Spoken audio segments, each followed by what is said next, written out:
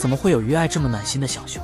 看到于爱细心照顾受伤于可，才明白兄妹俩的感情有多好。这天于可吃竹子的时候，于可不小心从木架上摔下去，也许是被沙发木缝给卡到了，然后扭伤了。随后没多久，粉丝们就发现了于可走路姿势不对，一瘸一拐，不敢用劲。饲养员得知消息后，马上带着医生来给于可检查。为什么我们明明知道大熊猫是独居动物，我们却时常认为它们不能过早的分开，依然很希望他们有伴呢？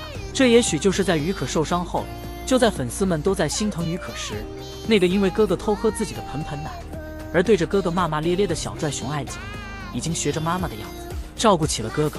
知道哥哥腿脚不方便，看到笋笋吃完了，看了一眼，确定哥哥的安全后，会去打包竹子给哥哥吃。为了让哥哥没有负担，还假装吃了一口才离开。明明是自己最喜欢吃的笋笋，可知道哥哥受伤后，于爱把所有的笋皮都咬了一遍，就算是闻了好几次，也没去吃那个大大的笋子。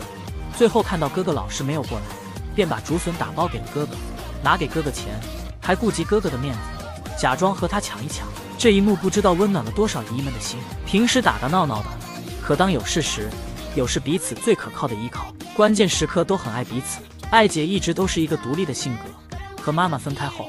两小只就像一夜之间就长大了一样，艾姐也会黏着哥哥。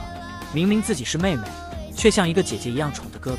姨姨们时常因为于爱独立的性格、整活能力强，忽视了她细腻的情感。上次墩墩奶爸来给梁小只加餐的时候，也许是看到好久没见的奶爸，于可像扑里奶妈一样扑了上去，可却忘了自己长大了，被爱姐看到了。